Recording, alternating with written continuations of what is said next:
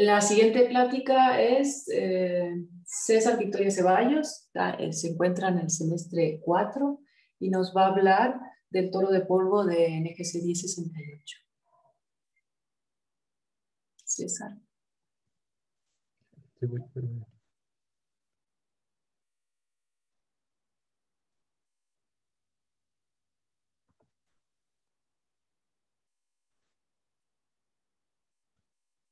Mientras tanto, les dejo la votación abierta un poquito de tiempo si gustan votar por Andrea. Ok, bueno, este, hola a todos. Bien, yo, les voy a hablar de, bueno, eh, mi proyecto de tesis eh, tiene dos eh, trabajos diferenciados, pero relacionados entre sí. Entonces acá les voy a hablar de uno de ellos, que es el que ya tenemos bastante avanzado y terminado básicamente, que es sobre el toro de polvo de 1068. Mi asesora es la doctora Humaira González. Entonces, eh, rápidamente les voy a dar una introducción que este, será útil en el resto de la plática, ¿no?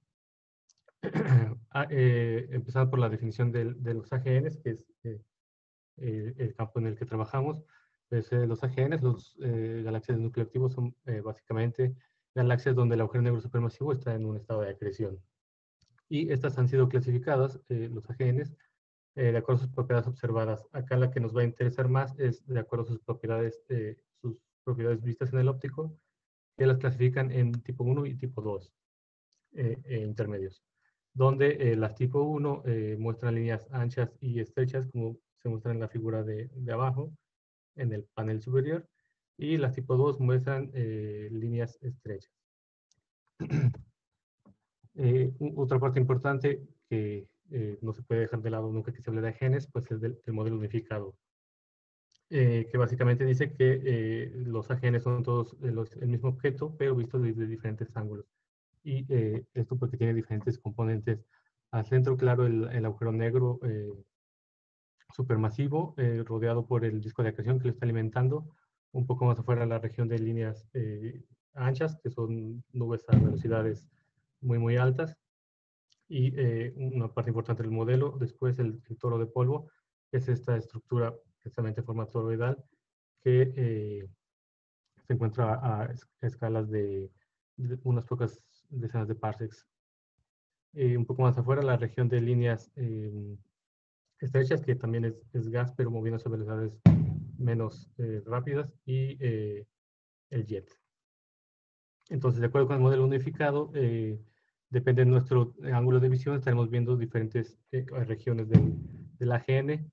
Por ejemplo, eh, para las tipo 2, el, el, toro de polvo obstruye la línea de visión del observador, lo que no permite ver hacia las partes internas del, del AGN, solo las partes externas, como es la región de líneas estrechas, por eso es que en las tipo 2 se ven líneas estrechas en el espectro, y eh, contrario a las tipo 1, donde el, toro no intercepta la línea de visión del observador y podemos ver las partes internas de la AGN eh, viendo en el espectro líneas anchas como estrechas.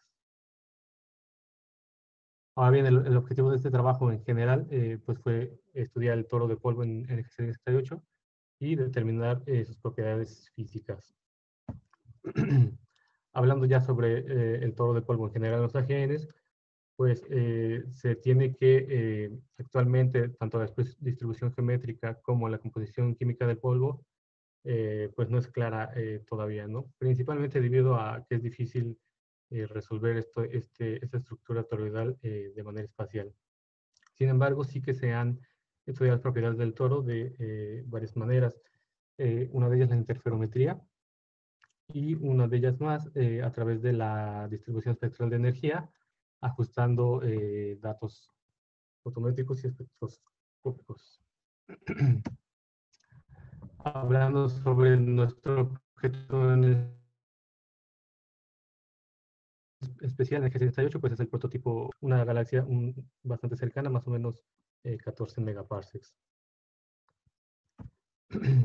y eh, es, es, una galaxia, una gene bastante, bastante estudiado. Solo algunos algunos eh, trabajos que les voy a mencionar eh, son este de García Burillo eh, y colaboradores de 2016, donde ajustan datos de, infrarrojo cercano y agregan unos puntos de ALMA. Sin embargo, su, su, mejor ajuste que está en línea roja que, se muestra en, la parte, en el plot de la izquierda, pues por ejemplo fallan, fallan en, en algunas partes, por ejemplo este punto que es, ellos toman como un límite superior, pues su mejor ajuste pasa por arriba, ¿no?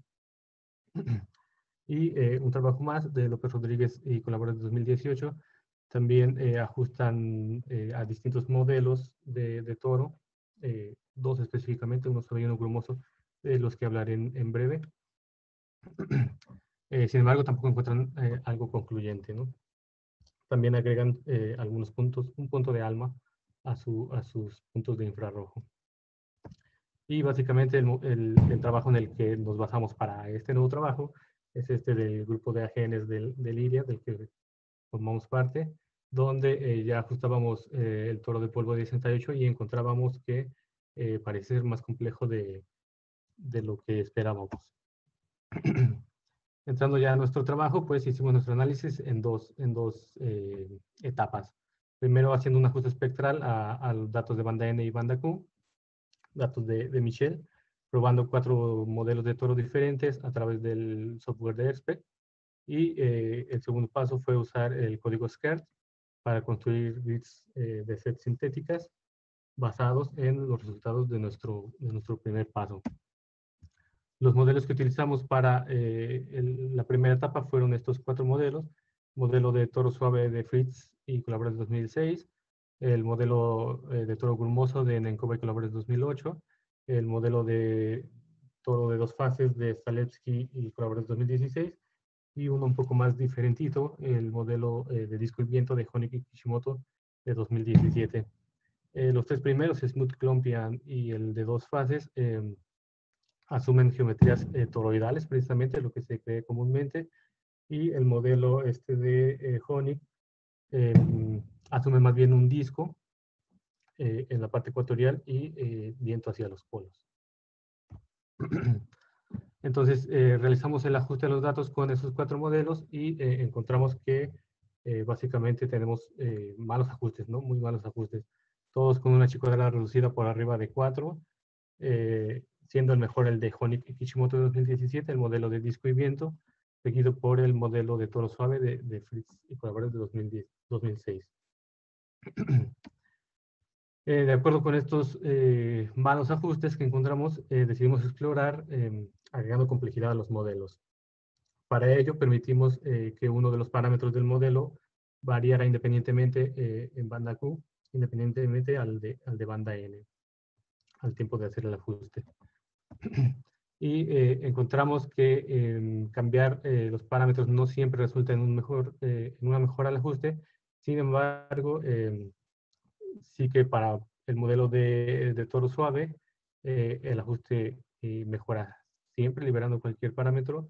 Y para los otros cuatro, el, el de el toro grumoso, el toro de dos fases y el disco más viento, eh, mejoran para todos los casos, excepto eh, cuando probamos a desligar parámetros como son eh, el, el, radio máximo del toro, el, el, índice radial del polvo, de la distribución del polvo y el ángulo de visión en cada uno de esos casos.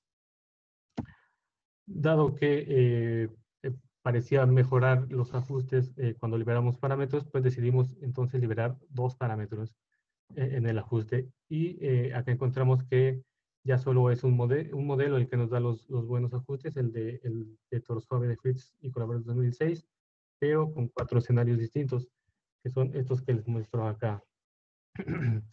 acá todos, todos estos cuatro escenarios tienen una chicuadra reducida bastante similar, alrededor de punto 2, punto 3. Pero, em, y, bueno, y todos ellos eh, bastante similares también en, el, en, el, ajuste. Entonces, estos em, resultados pues, nos muestran la complejidad de, la estructura del polvo en 1068, ya que eh, partiendo de, un modelo simple, eh, obtenemos un, una mejora en el modelo cuando liberamos parámetros al momento de hacer el ajuste. Entonces, eh, pasamos a la segunda parte del, trabajo, usando el código SCART para crear nuestras grids, sintéticas basadas en la geometría del, del toro suave de, Fritz y colaboradores de 2006, que es el que nos da los mejores ajustes.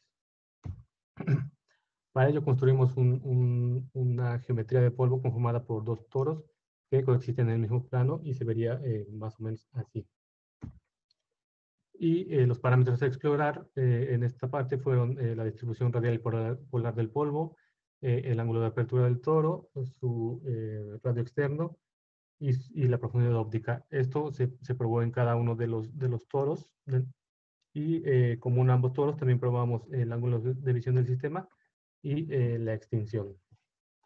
Además, eh, tomamos en cuenta una composición del polvo por grafitos y silicatos de 49 y 51% respectivamente, además de un tamaño de las partículas eh, típicamente usado entre 0.05 y 0.25 micras. Y eh, principalmente por el tiempo computacional que requiere hacer estos, estas simulaciones, probamos solo algunos valores para cada uno de los parámetros, que son los que muestro aquí.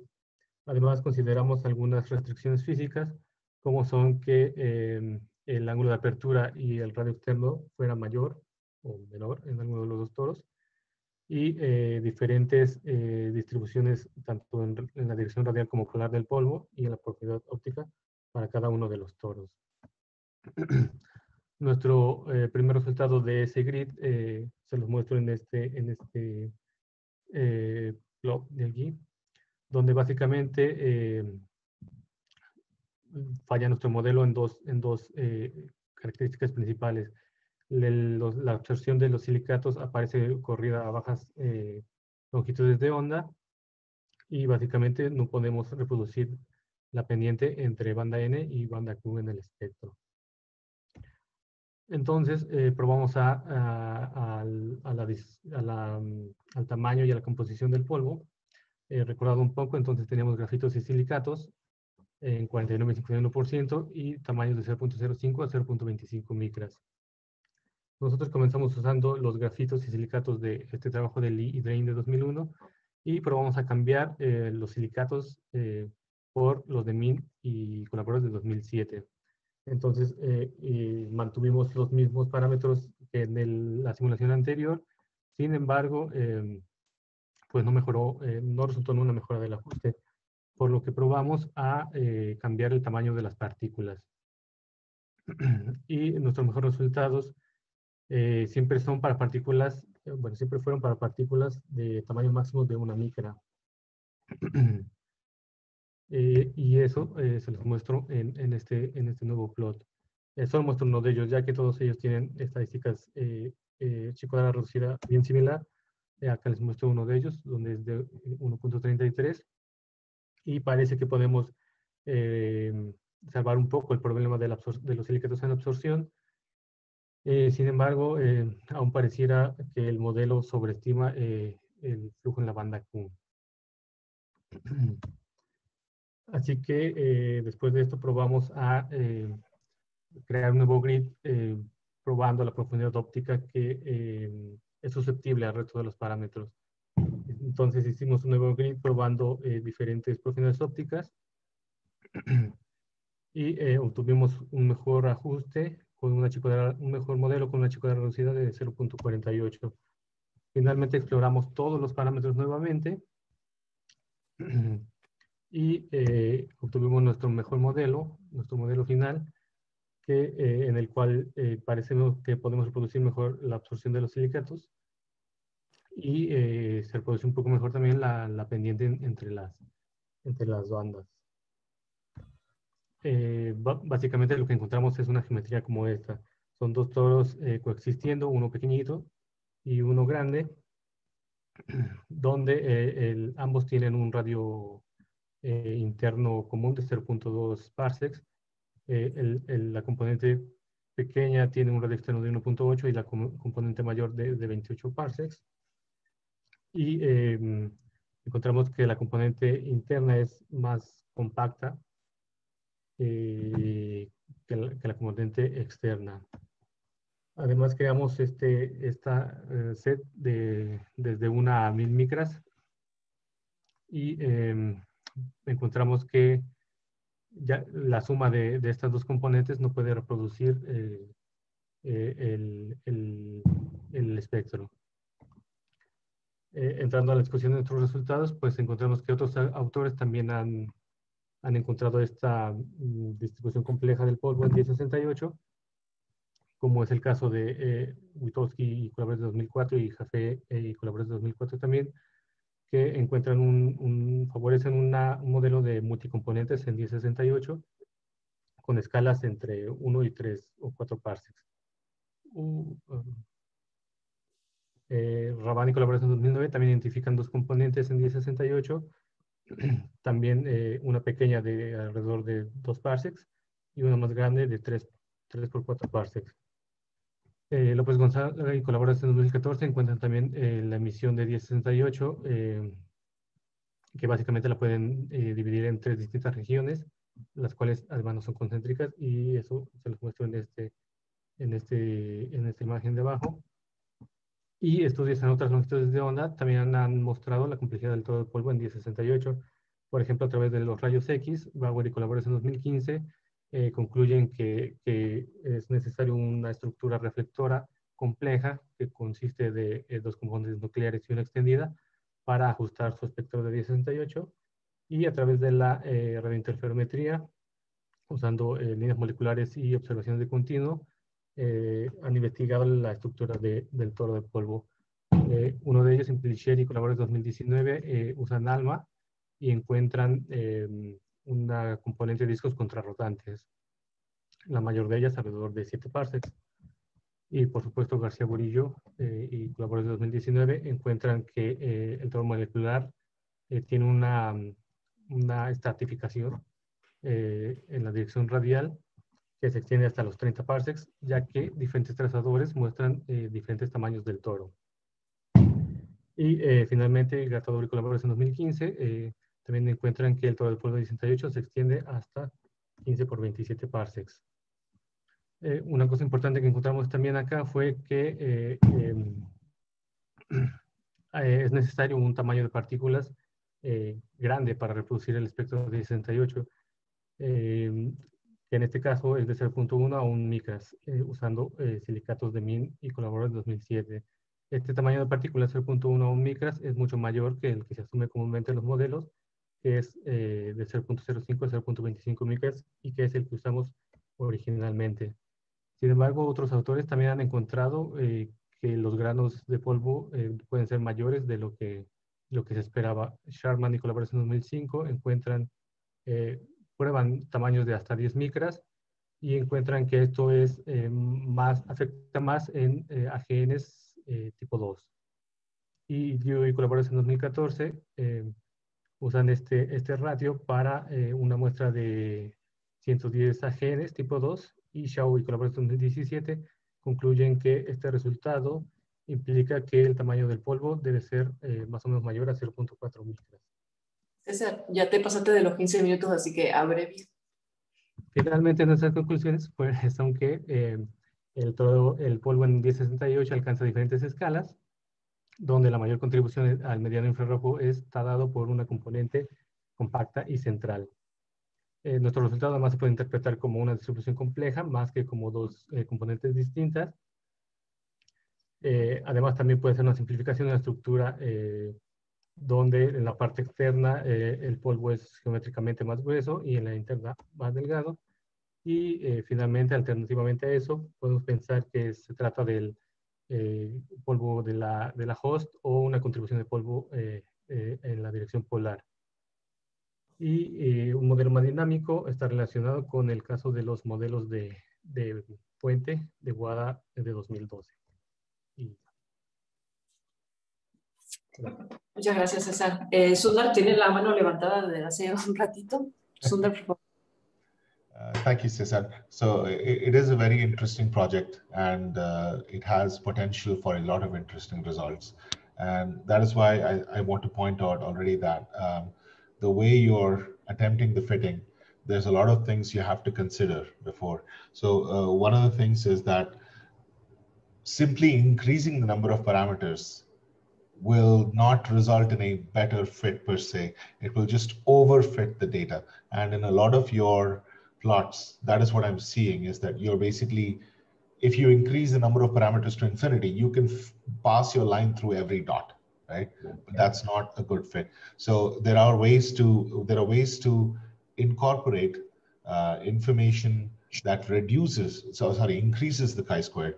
Um, uh, one of the examples is a Bayesian information criterion or something like that, which takes into account the fact that you've increased the number of parameters. So um, you, I can send you an email about this as well. That's one of the things is um, the other thing was uh, you're only looking at the best fit.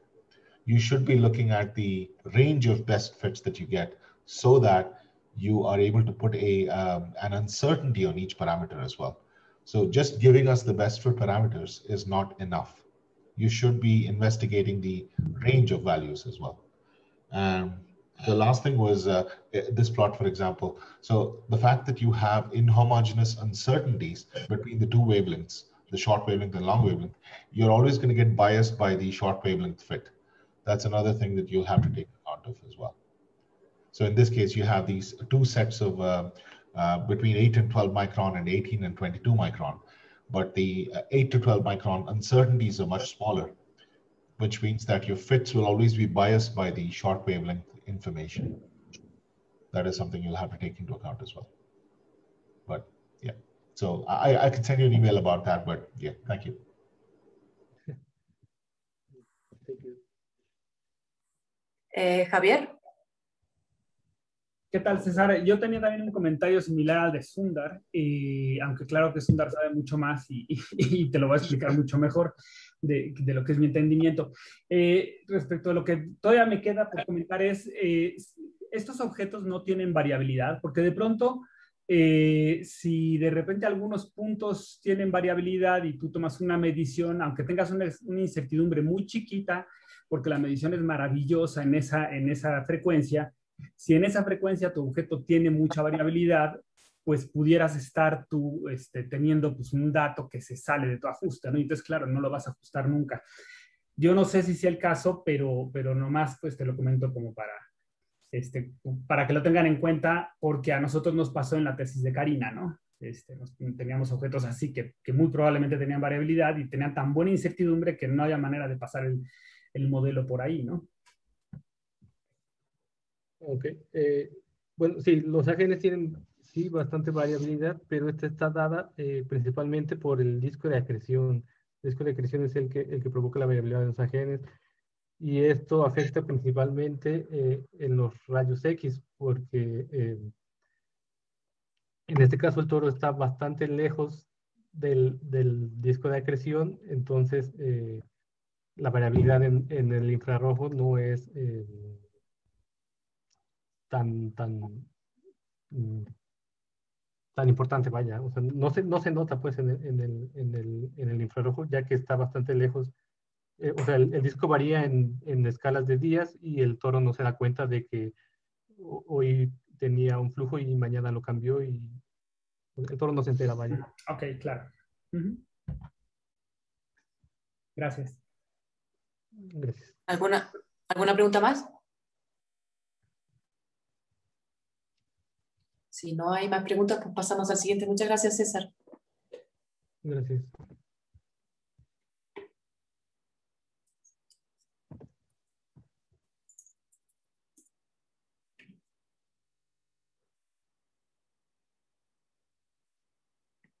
El siguiente es eh, Guido Grana Muñoz, está en el semestre número 6 y nos va a hablar de una charla que se titula Evolución del cociente masa-flujo magnético medido en nubes moleculares. Adelante, Guido, cuando tú quieras. Sí, buenas tardes. Mis asesores son Enrique Vázquez y Gilberto Gómez y a continuación les voy a hablar brevemente sobre la introducción del proyecto y algunos avances que hemos tenido el primero de ellos se titula El criterio de resolución de campos magnéticos y el segundo, simulación de colecciones de corrientes y líneas de campo magnético.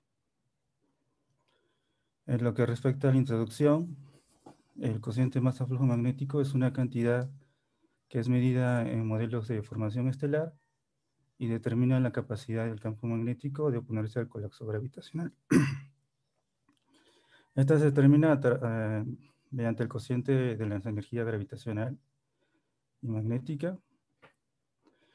A partir de, este cociente se puede determinar eh, la masa, el cociente masa-flujo crítico, el cual simplemente es una constante de normalización para obtener el cociente masa-flujo normalizado o simplemente cociente masa-flujo magnético y que también suele llamarse mu.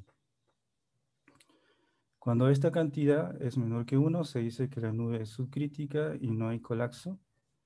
Y cuando es mayor que 1, se dice que la nube es supercrítica y colapsa. El modelo de soporte magnético, en el cual se usa mucho el cociente masa-flujo magnético, eh, nos dice que el cociente masa-flujo magnético solamente puede evolucionar debido a procesos difusivos. Esto nos quiere decir que cuando consideramos una magnetodinámica ideal donde no se incluyen procesos difusivos, esta cantidad física debería permanecer constante.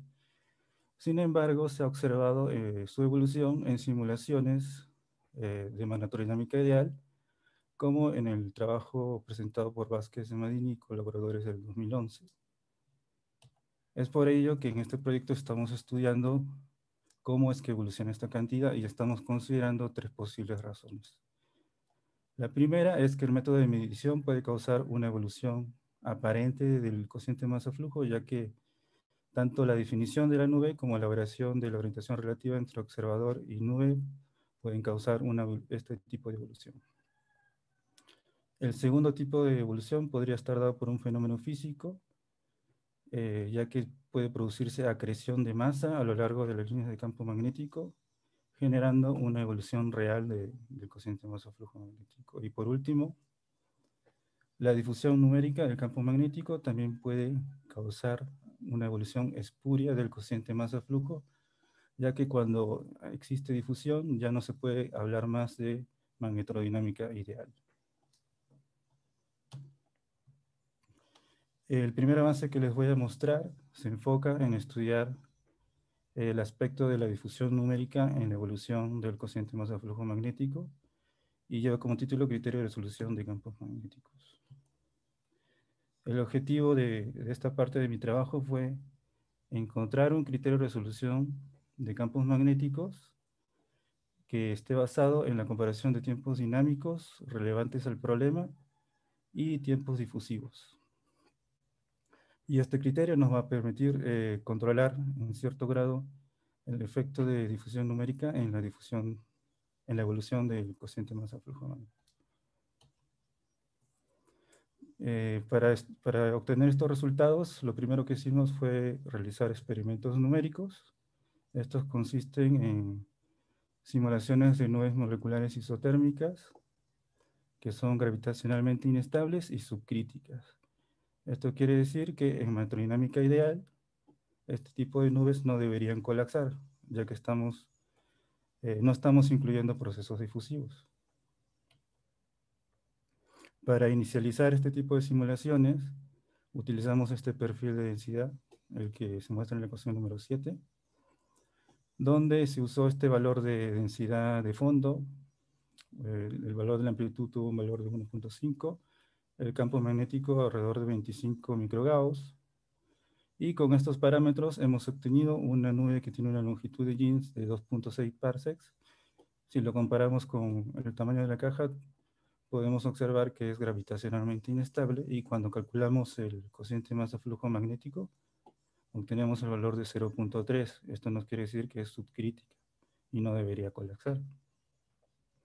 Entonces usamos las mismas condiciones iniciales para realizar tres simulaciones, las cuales están presentadas en esta tabla. La primera es MC7, la que corresponde a la simulación de menor resolución numérica. Y la última es MC9, que corresponde a la simulación de mayor resolución numérica. Al observar la evolución de estas tres simulaciones, vemos que tanto MC8 como MC7 colapsan y en, este, en esta animación estoy representando la evolución de MC8 en la parte izquierda, donde vemos que colapsa alrededor de 9.4 megaños. Por el contrario, vemos que MC9 no colapsa y se comporta realmente como una nube subcrítica y oscila alrededor de un estado de equilibrio hasta que termina la simulación. El resultado de este, de este experimento numérico nos, nos motivó a plantear el criterio de resolución que les había comentado, el cual se basa en la comparación de tiempos dinámicos y difusivos. Los tiempos dinámicos se obtienen a partir de la condición subcrítica de la nube, o, o en otras palabras, mu menor que 1. A partir de esta relación, se puede llegar a la, a la relación número 8, donde tau A es el tiempo de cruce albénico y tau FF es el tiempo de caída libre. Entonces ya tenemos los tiempos, perdón, ya tenemos los tiempos dinámicos y nos falta el tiempo de difusión eh, del campo magnético. Para ello usamos la ecuación número 11, donde L es la escala relevante y eta es el coeficiente de, de difusión magnética. Y el criterio que hemos planteado simplemente consiste en comparar estos tres tiempos y encontrar la resolución numérica que satisface la ecuación número 12. Eh, y esta ecuación simplemente nos dice que eh, una forma de interpretarla es que el tiempo de difusión no es importante, ya que es mucho más largo que el tiempo de caída libre y el tiempo de cruce albénico. Y otra forma de entenderla es que el campo tiene tiempo de restaurar el equilibrio, ya que es mucho menor que eh, la difusión. Para obtener, eh, para estimar el valor del tiempo de difusión, tenemos que medir el coeficiente difusivo. Para ello fue necesario realizar otro tipo de simulaciones llamadas sábanas de corriente de Harris, que consisten en un equilibrio de presión térmica y presión magnética, y este equilibrio se rompe debido a la difusión numérica del campo magnético. Para obtener este equilibrio fue necesario inicializar la, densidad de, la forma presentada en la ecuación número 13 y el campo magnético de la forma que se presenta en la ecuación número 14. Las condiciones iniciales están graficadas en, el, gráfico de la derecha. Y una vez que nosotros variamos la resolución de este tipo de, de simulaciones, podemos obtener el valor del coeficiente difusivo usando la ecuación de inducción que viene está representado aquí por la ecuación número 15. Para obtener el coeficiente difusivo, simplemente suponemos que es uniforme y obtenemos la ecuación número 16. Una vez que hacemos estos cálculos para este tres tipos de simulaciones con, para tres, estas tres simulaciones con diferentes resoluciones, obtenemos los valores que se presentan en la siguiente tabla. Y aquí podemos observar que MC9 es la única simulación en la que el, el tiempo de difusivo, tiempo de difusión magnética es mucho mayor que el tiempo de caída libre, lo cual está, eh, lo cual está en acuerdo con lo que hemos encontrado a través de el experimento numérico mencionado anteriormente. Y bueno, y estos resultados que les he presentado ahorita están viniendo, están siendo incluidos en nuestra primera publicación que va a ser presentada pronto. La siguiente sección se llama simulación de colisión de corrientes y líneas de campo magnético. Y en esta sección nos estamos enfocando en estudiar los otros, las otras razones por las cuales puede evolucionar el cociente masa-flujo magnético, las cuales son procesos físicos y también el efecto de un observador. Para ello estamos realizando otro tipo de simulaciones que se llaman simulación de colisión de corrientes. Estas incluyen magnetodinámica, también reproducen la naturaleza multifase del medio interestelar y también van a incluir gravedad. Y en estas animaciones podemos ver eh, cómo evolucionan este tipo de, de simulaciones. Eh, en la izquierda tenemos la vista frontal y en la derecha tenemos la vista lateral. El siguiente, la siguiente herramienta que se ha desarrollado este último semestre son eh, líneas de campo magnético, ya que son muy, son muy importantes para, para mi proyecto, ya que nos permiten evaluar si el cociente masa-flujo magnético está evolucionando debido a acreción a lo largo de las líneas de campo magnético. O, por ejemplo, si la acreción o el flujo de gas está doblando las líneas, por ejemplo. Y también podríamos estudiar cuáles serían los efectos observacionales en la evolución del cociente masa-flujo magnético. Es importante mencionar que existen paquetes en línea que pueden realizar este tipo de líneas.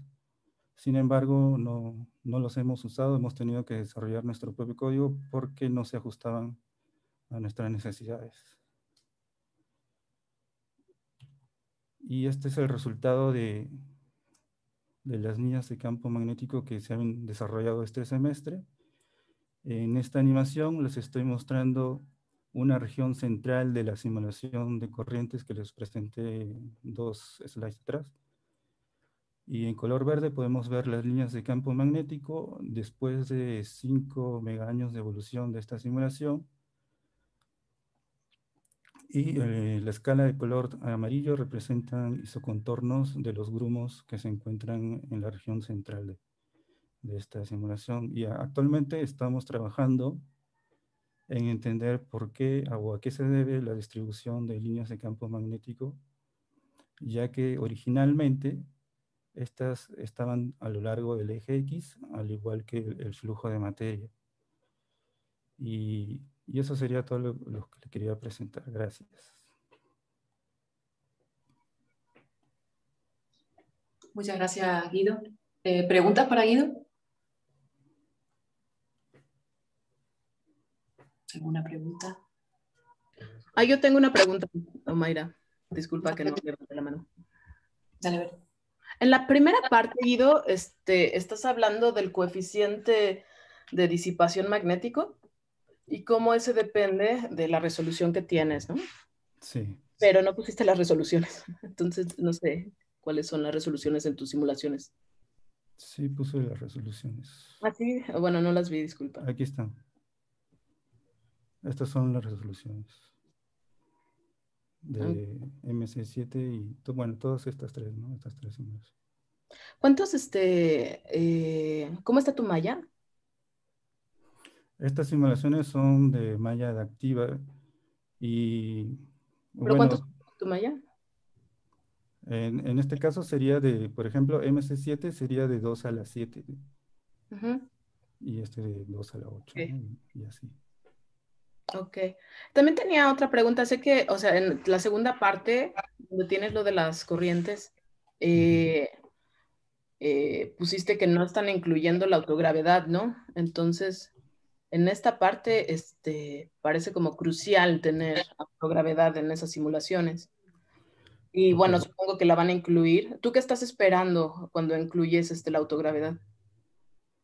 En realidad la autogravedad no es crucial porque eh, estas, estas estructuras que son grumos eh, se forman más por inestabilidad térmica. Entonces, si uno hace una comparación de los procesos que son importantes para su evolución, la autogravedad en, en, realidad solamente es importante cuando ya llegan a obtener una masa de jeans y, estamos un poco lejos de eso todavía. Pero no, o sea, no has hecho una simulación con gravedad. Todavía no, pero también lo vamos a hacer. Ok, gracias Guido. Eh, tengo en la lista a Rubén. Hola, ¿qué tal, Guido? Están muy interesantes eh, yo tenía una pregunta más bien técnica. Quería saber este, cómo haces la animación de, tu diapositiva, de tu diapositiva, esa que es como en 3D, se ve muy, se ve muy poderosa. ¿Utilizas Python o cómo, cómo lo haces? Ah, las, las animaciones, este, hay un paquete que se llama Animagraphics, creo, de látex. Tú solamente le das este, las imágenes y y eh, hace solamente automáticamente las animaciones. Me refiero al cubo, al cubo de la ah, simulación. creo que es la última diapositiva, esa, donde se ven los campos magnéticos y todo eso. Ah, ok. Para el cubo he usado una librería que se llama BTK, que se usa en varios paquetes públicos de visualización.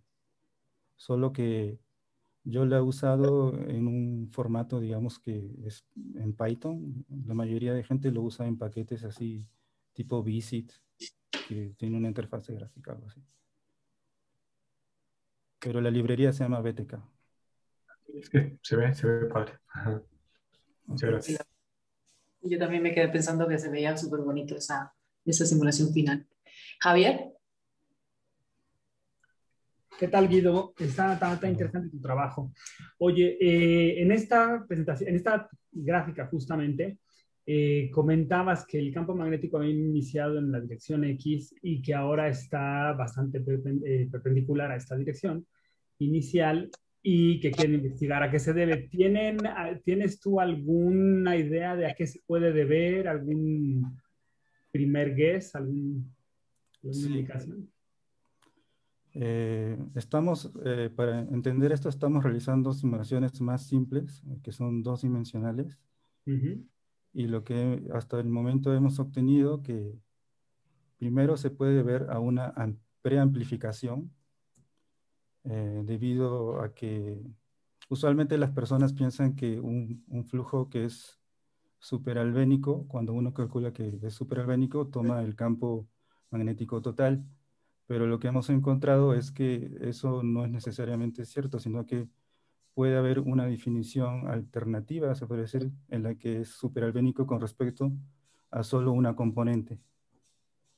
Entonces pueden haber perturbaciones pequeñitas del campo y, y el flujo puede ser superalbénico con respecto a estas perturbaciones pequeñitas y eso genera una amplificación de la componente vertical y después también está el hecho que hay choques MHD y los choques, entre los choques, entre los tipos de choques MHD, existen unos choques que se llaman switch on y switch off, que pueden crear componentes eh, verticales donde no las había. Y eso también puede influenciar una vez que, que, ya estamos dentro de la zona de la región chocada. Pero eso te, te lo haría como para para cambiarte la dirección del campo magnético a gran escala? Porque, digamos, yo pensaría que quizá los choques son esa región más densa, ¿no? Claro, y también hay que tener en cuenta de la inestabilidad térmica que también este, cambia las densidades de forma muy grande, a menos de los grumos. Ajá. Y eso también puede cambiar, por ejemplo, el número de MAG albénico y, perdón, MAG, sí, MAG albénico. ¿En esta simulación tienes autogravedad? En esta simulación no tenemos autograda y, eso es este, lo más sorprendente, ¿no? que no tenemos autograda. Ok. Vale, gracias. Pues si nadie tiene una última pregunta, eh, pasamos al siguiente speaker. Muchas gracias, Guido, por tu pregunta. El siguiente es eh, Luis Enrique Pérez Montaño, que está en el semestre 5 y su plática se titula Los Surface Finance Bueno, bueno, hola, ¿me, escuchan todos? Bueno, sí se escucha bien. Sí, se escucha. Bueno, antes que nada, una disculpa eh, por si no me llego a escuchar bien. Eh, fui intervenido esta mañana de unas, unas cosas que hay con el dentista y bueno, este, pues ando aquí con la boca un poco sensible, pero aquí estamos. Este, como dijo Freddie Mercury, The Show Must Go On, así que eh, voy, voy para allá. Eh, estoy tratando de compartir mi pantalla. Eh, por favor, háganme saber si, si, se, ve, se ve algo, se ve bien. Perfecto. ¿Sí? Ok, bueno, pues muchas gracias y gracias por estar aquí. Espero que se encuentren muy bien y ya con vistas a regresar pronto a, a estas cosas eh, presenciales. Entonces, pues mi trabajo es Low Surface Brightness Galaxies with Illustrious TNG, again, porque este, digo, ya me tocó presentar eh, algunos resultados preliminares en, segundo semestre y estaba demasiado verde el, el, trabajo, pero bueno, ya creo que a estas alturas ya tengo suficiente trabajo como para defenderme bien de, en, en esta presentación. Eh, como quizás lo sepan, eh, mis supervisores son el doctor Bernardo Cervantes y el doctor Vicente Rodríguez. Entonces, pues eh, para quienes no lo sepan o quienes no lo recuerden, las galaxias de bajo brillo superficial, que, que, vamos a llamar LSBs, son galaxias muy, muy interesantes porque son objetos que son intrínsecamente débiles y están caracterizados por tener un brillo superficial central mayor a esta, a este valor medido en la banda B, ¿no? que son 22 magnitudes por segundo de arco al cuadrado. Es un límite establecido eh, desde hace ya bastantes años y es un brillo comparable con el, cielo nocturno.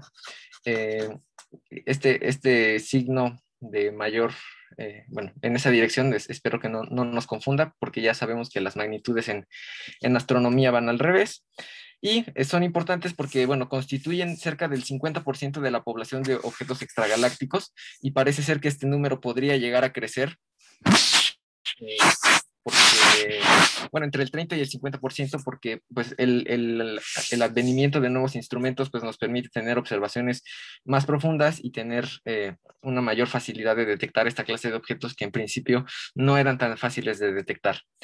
Eh, son objetos que los podemos encontrar en muchas morfologías, pero están caracterizados principalmente por ser galaxias espirales, extendidas, eh, carentes de bulbos, carentes de barras, como ya diferentes trabajos lo han, lo han mostrado, y son útiles en el desarrollo de modelos eh, evolutivos de galaxias porque hay algunas de sus propiedades que son bastante más simples que eh, de modelar que, sus contrapartes de alto brillo superficial o HSBs.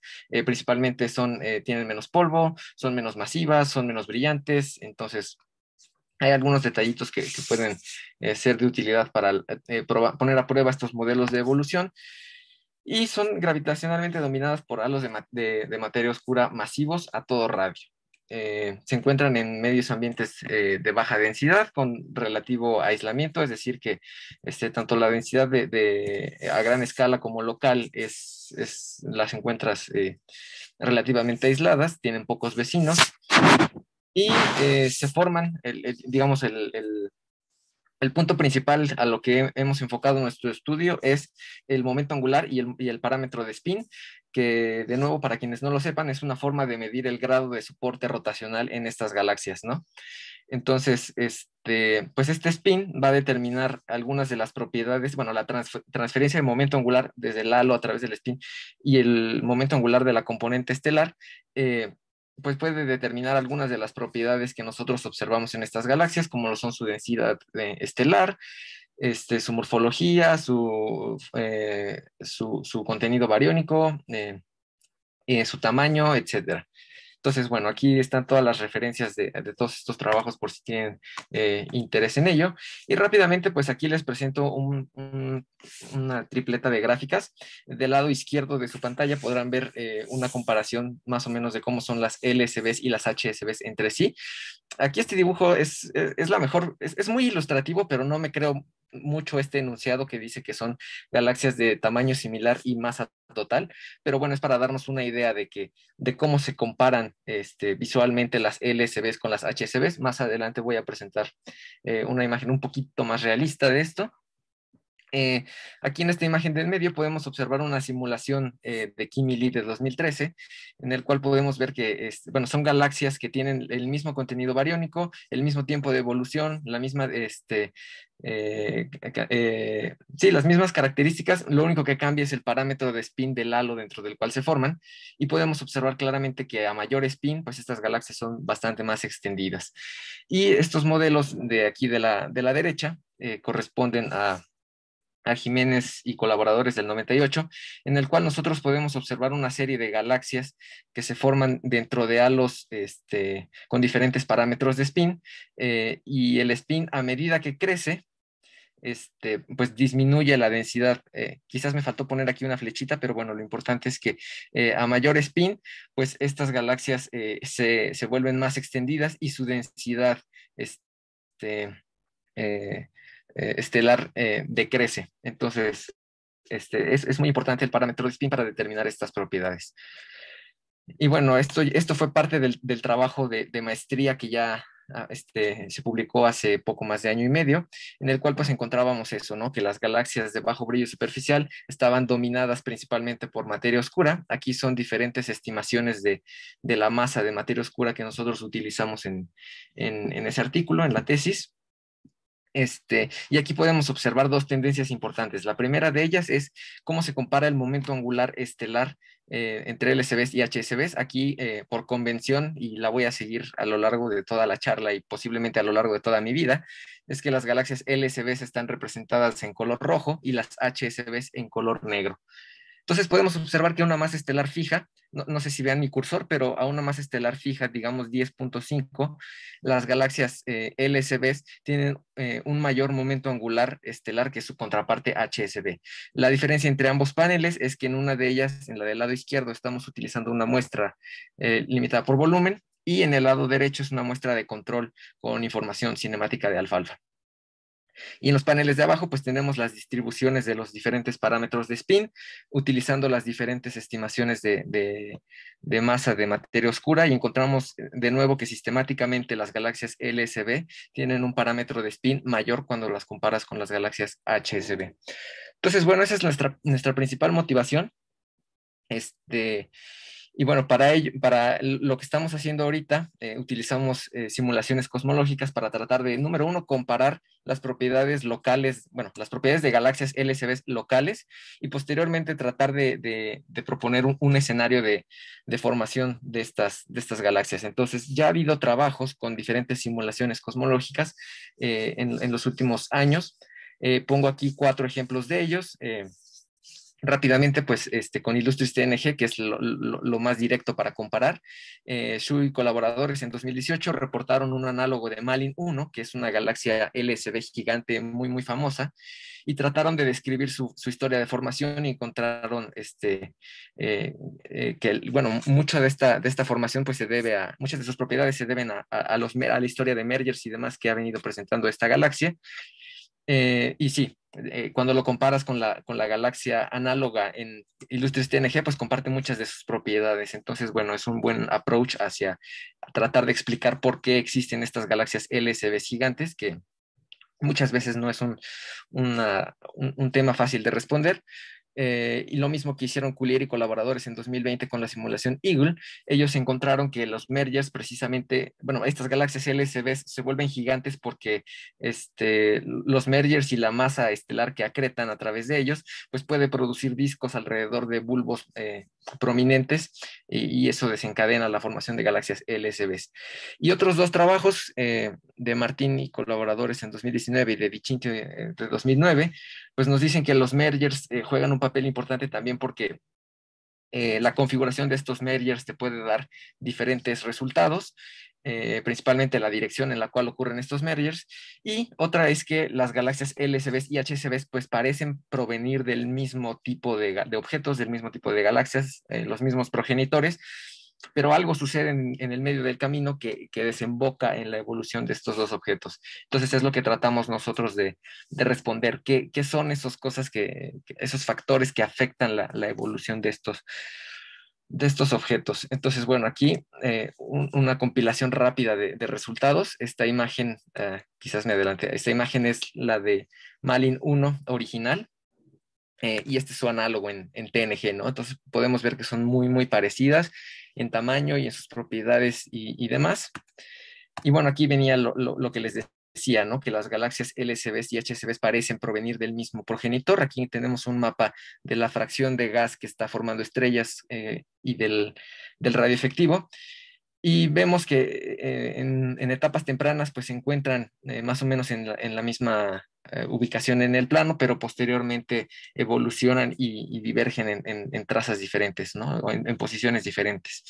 Y aquí pues una compilación de cómo se verían los mergers cuando la configuración afecta a la formación tanto de LSBs aquí arriba y HSBs aquí abajo. Eh, aquí lo importante es, eso, ¿no? La configuración del merger al momento de, formar estas galaxias. Entonces, bueno, nosotros estamos utilizando Illustris TNG, que es la versión actualizada de Illustris original, eh, y las diferencias principales son que eh, el modelo de feedback está mejorado, entre otras cosas. Y bueno, los resultados es que se obtienen galaxias que son más, más compatibles con las observaciones actuales. Parte de un modelo cosmológico este, con, estos parámetros. Consiste en 18 simulaciones que varían tanto en tamaño como en el tamaño de la caja como en la resolución eh, de, de, la misma. Y tiene 99 snapshots que van desde z igual a 20 a z igual a 0.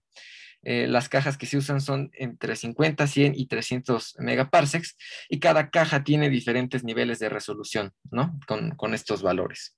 Entonces aquí hay un dibujito de cómo se ven más o menos estas, estas, eh, estas simulaciones y nosotros nos vamos a enfocar en esta parte del trabajo a utilizar Illustris TNG 100, TNG 100.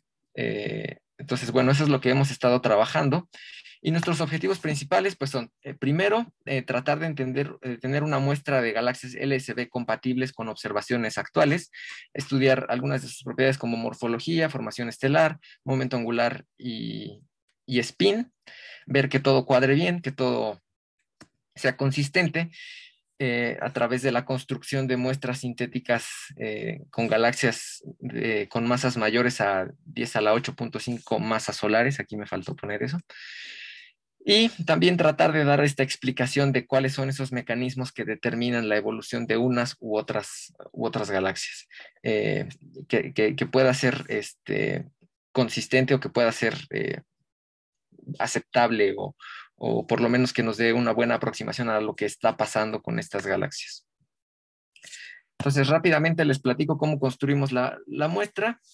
Eh, primero, pues es importante calcular el momento angular estelar porque además de que lo vamos a utilizar para medirlos, eso nos permite orientar las galaxias a nuestro antojo. Entonces, lo que vamos a hacer nosotros es orientar las galaxias eh, face on calculamos el radio efectivo que contiene la mitad de la luminosidad total en la banda R. Ah, más adelante explicaré por qué nos cambiamos a la banda R, a pesar de que la definición eh, clásica es en, la banda, bueno, lo menciono de una vez, la, definición total eh, eh, clásica, perdón, de las LSBs es en la banda B, sí, pero esta banda traza este, eh, principalmente formación estelar reciente, ¿no? Entonces, a nosotros nos interesa la, población de, estrellas que, ya llevan rato por ahí, entonces, este, por eso nos, nos cambiamos a la banda R, y aparte porque muchos de los trabajos observacionales actuales se están haciendo con la banda R del, del, Sloan, así que bueno, si queremos comparar entre poblaciones similares, pues nos conviene cambiarnos de, a la, banda R, ¿no?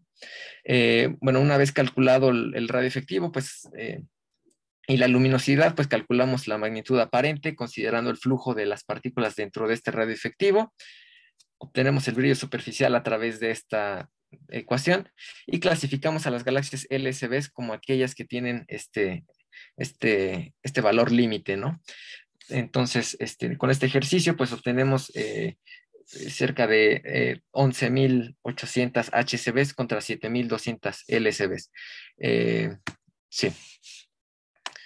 Entonces, bueno, aquí hay un par de imágenes ya sintéticas de, usando, TNG, eh, en las cuales observamos, son galaxias que tienen eh, masas comparables. Estas sí estoy segurísimo que son eh, bueno, garantizo que son con masas comparables, si no mal recuerdo es de 10 a la 10.5 masas solares, y nosotros podemos observar que, pues sí, las galaxias LSB se ven bastante más extendidas, bueno, aquí no tan bastante, pero sí se ven más extendidas que las, que las galaxias HSB y son galaxias que tienen masas comparables, entonces, bueno, podemos observar que sus tamaños son, son importantes. aquí tenemos un, un mapeo de la, del brillo superficial como función de la masa, con un código de colores que nos dice qué tipo de, qué morfologías hay en estas, en estas galaxias. Entonces vemos aquí que, eh, que hay un, buen tramo de, este, de estas masas en las cuales tenemos eh, amplio dominio de una población de galaxias espirales, lo cual es bueno porque es eh, compatible con las, con las observaciones, con lo que nosotros queríamos saber. Y bueno, aquí lo que, lo que tenemos es la fracción de galaxias LSBs eh, por cada bin de masa y aquí, y aquí vemos que, bueno, está dividido entre centrales y satélites y observamos esta tendencia, ¿no? De que a mayor masa, pues menor es la fracción de, galaxias LSBs eh, que nosotros podemos encontrar en nuestra muestra. Este, esta, digamos, upturn, no, no sé cómo traducir eso, pero esta, digamos, curvita hacia arriba, este, hay una explicación para ella, pero se las puedo platicar más adelante porque si no me, va a ganar el tiempo, pero eh, es bastante consistente con otros resultados.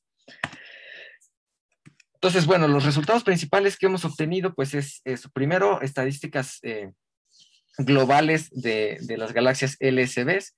Eh, aquí lo que tenemos es que son galaxias Este, bueno, aquí, aquí me, me, equivoqué un poquito, pero este, aquí lo que, lo que podemos observar es que las LSB son galaxias menos masivas y más extendidas que sus contrapartes HSBs.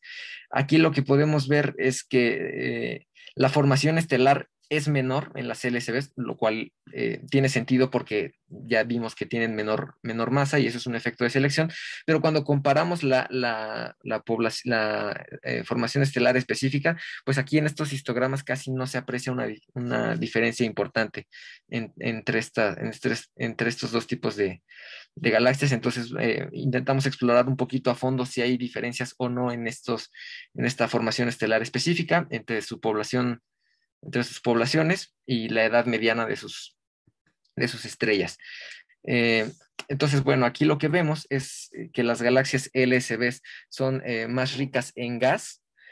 aquí tenemos H1, H2 y la suma, ¿no? De H1 más H2. Y sí, claramente se observa que, que, que a cualquier, bueno, que en, una masa estelar fija, pues las LSBs tienen mayor gas que las, que las HSBs. Eh, y eso es bueno porque este, pues es consistente con otros resultados. ¿Alguien está hablando? ¿Preguntas o algo? ¿O ya se me acabó el tiempo? Se te acabó el tiempo hace un ratito, así que concreto. ¿A ah, qué caray? Ah, bueno.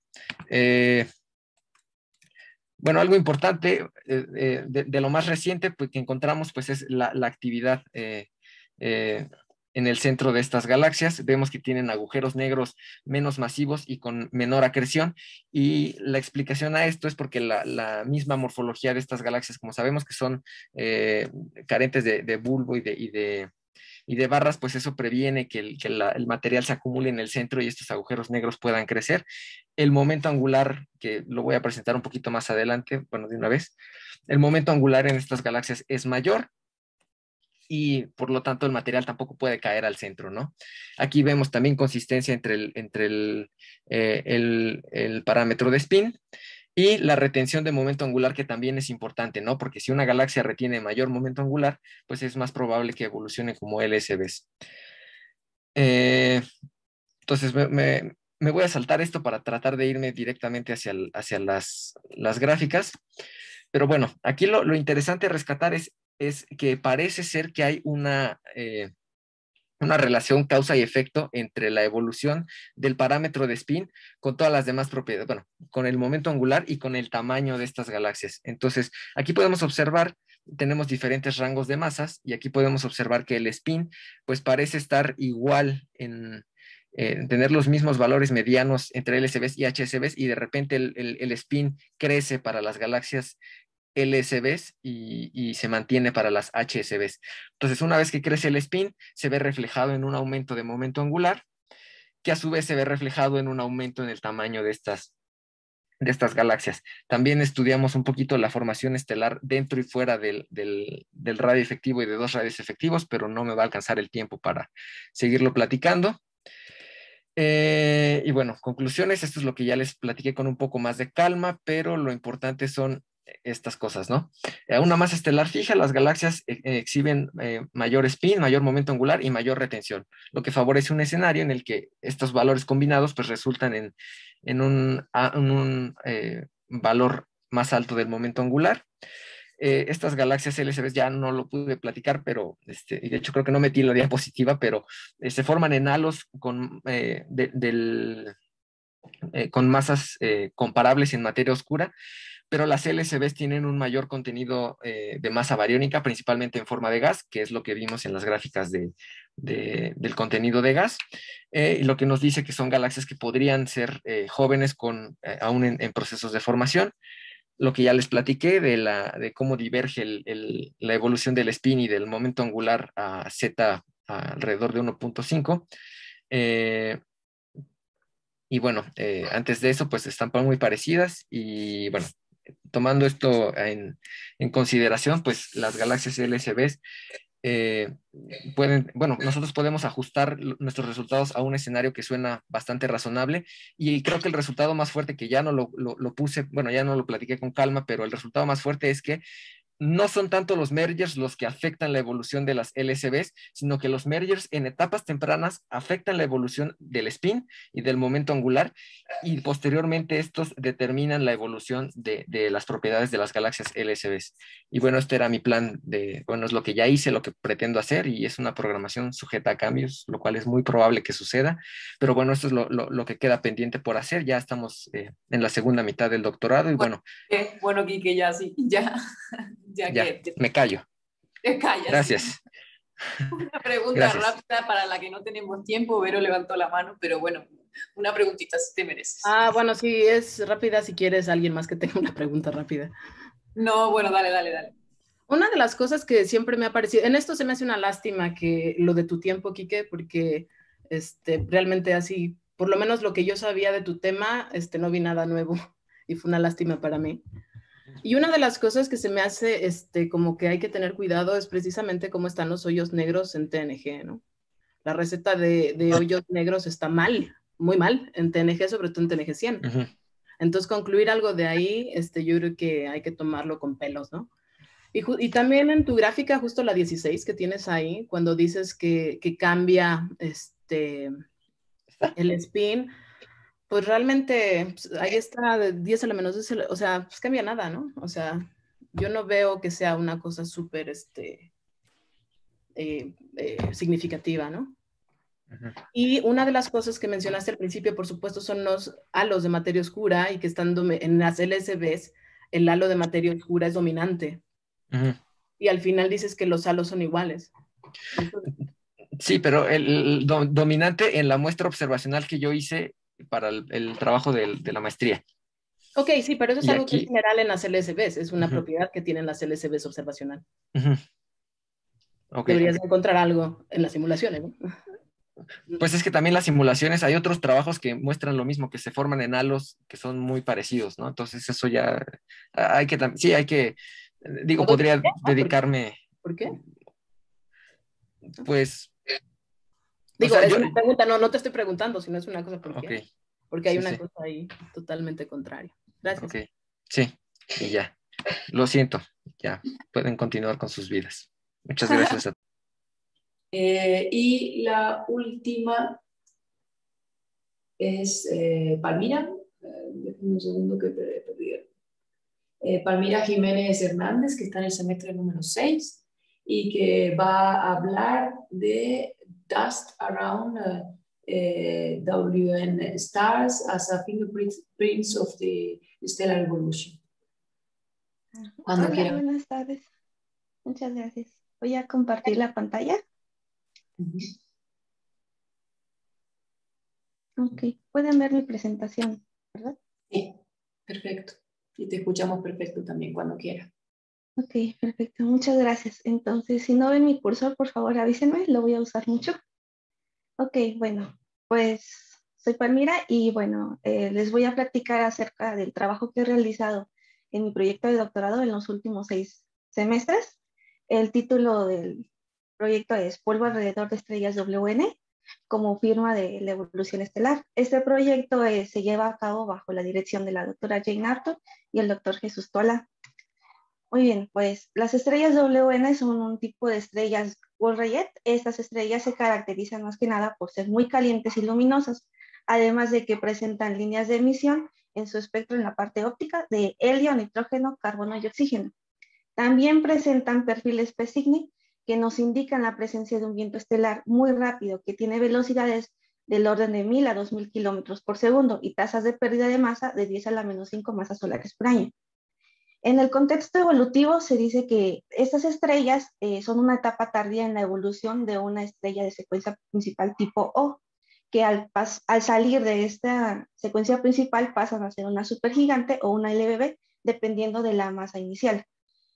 Después, cuando en esta etapa la estrella empieza a perder sus envolventes, sus capas externas, y entonces puede ser a partir de un, un viento estelar con masa, tasa de pérdida de masa continua o con eyecciones masivas. Cuando el, núcleo de la estrella queda desnudo, entra entonces en una etapa de Wolf-Rayet, que pueden ser ricas en nitrógeno, WN, ricas en carbono, WC, o ricas en oxígeno, WO. Estas tienden a terminar su vida, o más bien terminan su vida como una supernova tipo 1b o 1c. También se han observado estrellas muy peculiares, ricas en nitrógeno, que presentan además en su espectro óptico eh, líneas de emisión de hidrógeno. Estas se han colocado en una etapa intermedia entre la etapa, en la etapa de tipo espectral O y, una, y la etapa de LB, para después seguir con el camino evolutivo clásico.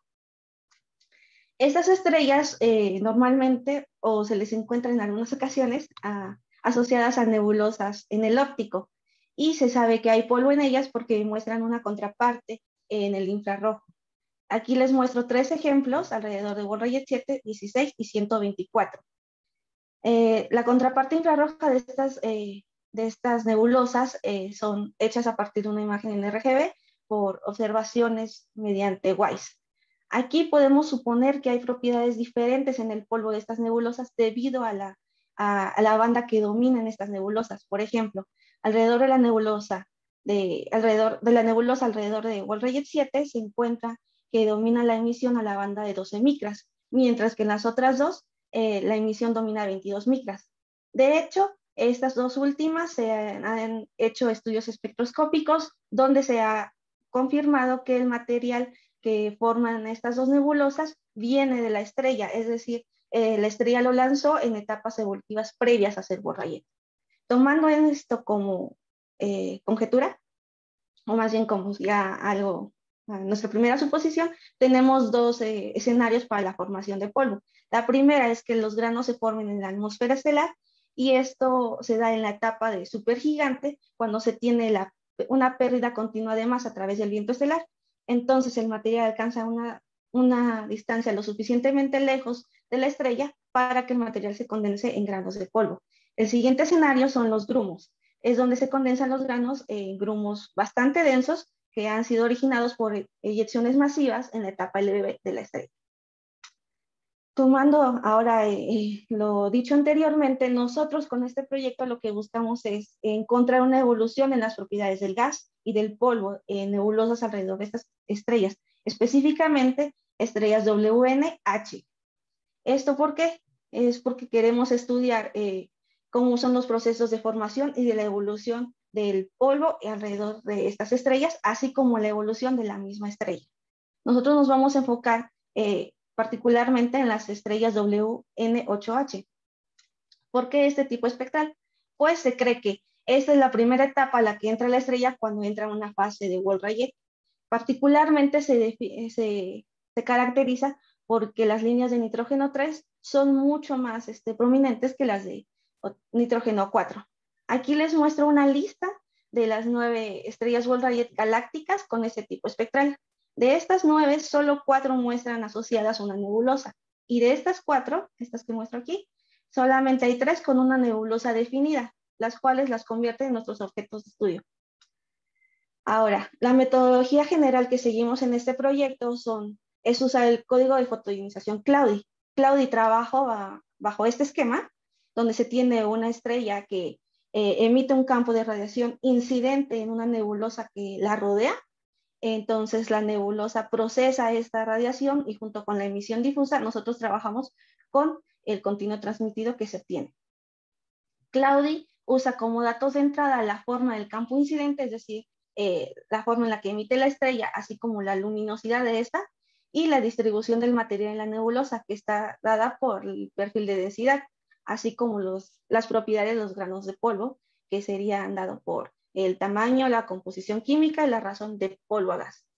Aquí tengo que resaltar que nosotros trabajamos con modelos de estrella eh, del espectro de la estrella de estrellas Borrayet, calculados con el código de Power de Potsdam, debido a que no podemos usar un cuerpo negro por la diferencia que hay en la presencia del viento estelar, del fuerte viento estelar. Pues aquí tenemos un ejemplo donde tenemos dos casos con la misma temperatura efectiva y se ve aquí una una falta en los fotones de longitud de onda corta, que son absorbidos por el viento y remitidos a longitudes de onda larga. Nosotros para la parte infrarroja usamos observaciones de Spitzer, Weiss y Herschel. Ahora, ¿qué hacemos con el continuo transmitido que nos da Cloudy? Lo que hacemos es, podemos, junto con la librería de PyCloudy, eh, explorar dimensiones en 3D y luego este, eh, eh, proyectarlo sobre un plano y de ahí tomar rendijas este, sintéticas y poder medir eh, líneas de emisión que, simulen, este, que se comparen con observaciones. También podemos obtener una fotometría sintética. Todo esto en base a restricciones observacionales, principalmente las líneas de la emisión del gas ionizado y la forma y el flujo de la fotometría infrarroja.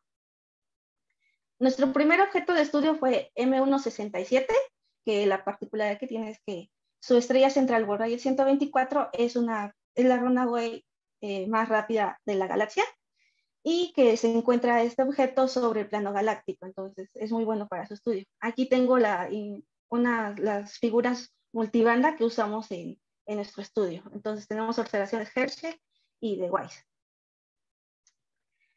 Tomando con Claudi eh, como input de parte de los granos una distribución de tamaños de Matis del 77 y únicamente silicatos, nosotros podemos modelar en 1.67 tomando este esquema, el cual lo compone, compone la nebulosa de un anillo interno, eh, donde tenemos las zonas Z1, Z2 y un anillo externo con Z3 y Z4. Aquí cabe notar que el polvo se encuentra en la región Z3, en la parte naranja, y contamos con dos poblaciones de granos de polvo, uno pequeño y uno grande. Aquí con este, con este esquema ajustamos a la observación infrarroja, donde tenemos aquí la sed. Los puntos observacionales están dados por los puntos negros y los del modelo por los diamantes rojos. También podemos ajustar con nuestro modelo la parte óptica de la nebulosa. Y, nuestro, y Claudia también nos arroja una estimación total del gas y del polvo en este objeto. Nuestro siguiente objeto de estudio es RCW58. Ah, aquí tengo una imagen, las imágenes multibanda que usamos, eh, la parte infrarroja y la óptica. Eh, aquí su estrella central es Wolf Rayet 40 y tengo que recalcar aquí que a diferencia de 1.67, RCW58 muestra una emisión de background a, a imágenes con longitud de onda larga, como se pueden ver aquí en las imágenes de, SPY de Herschel. Entonces, no se puede hacer un estudio global de la misma manera que en M167. Por lo tanto, nosotros elegimos dos regiones para estudiarlas. Estas son LC y RC. Para estudiar este y la distribución del material que se necesita meter a Cloud, nosotros estudiamos los perfiles de brillo superficial de cada una de las bandas que tenemos. Y las muestro.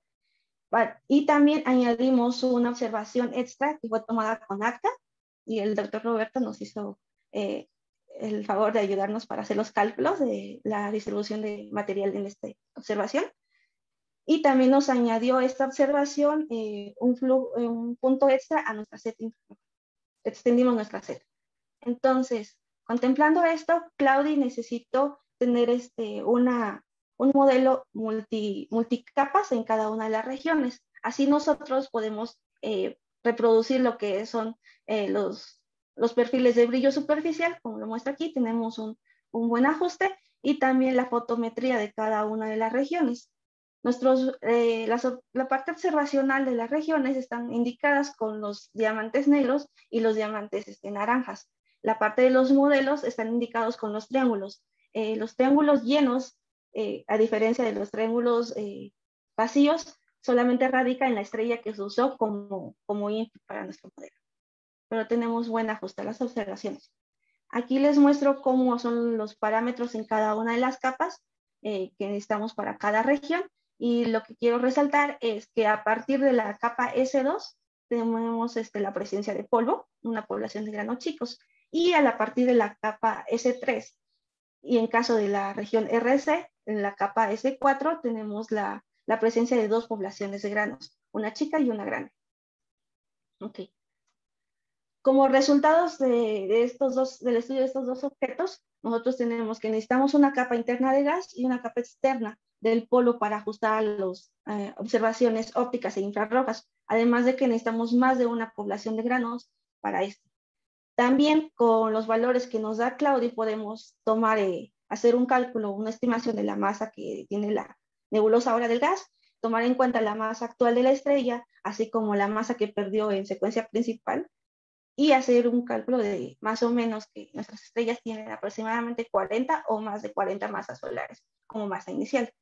También hay que tomar en cuenta de que nuestros modelos necesitan granos tan grandes como 0.9 micras. Esto ha sugerido que se necesita un origen eruptivo en nuestras nebulosas.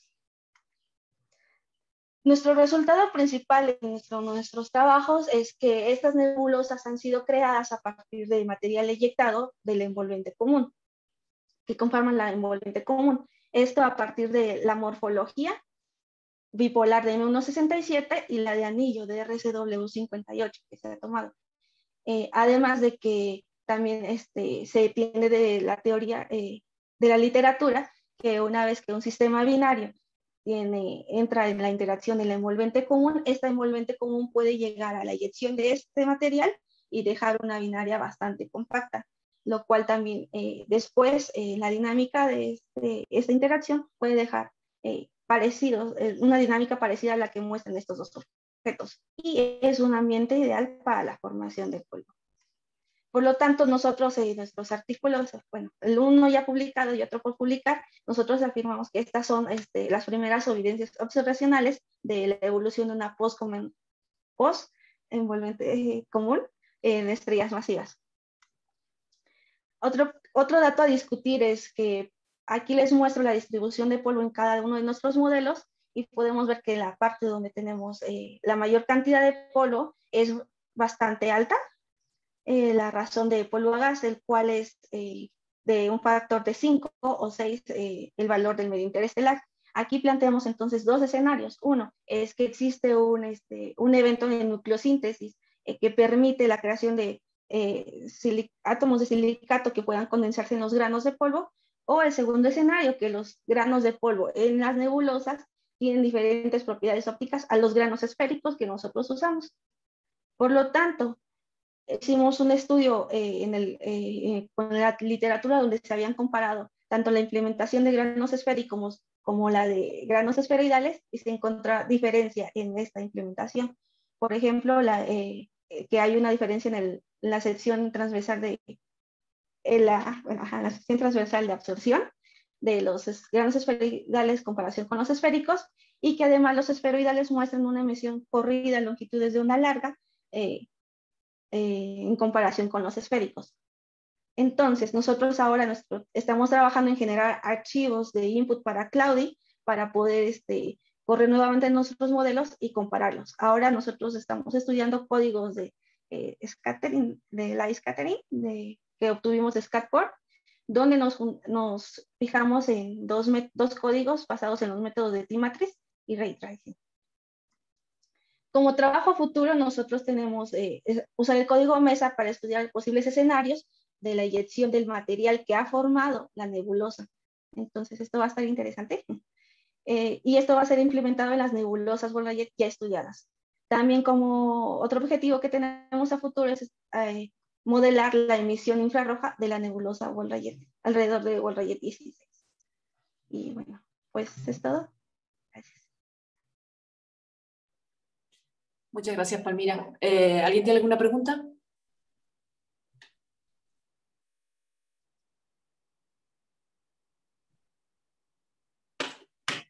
¿Hay preguntas para Palmira?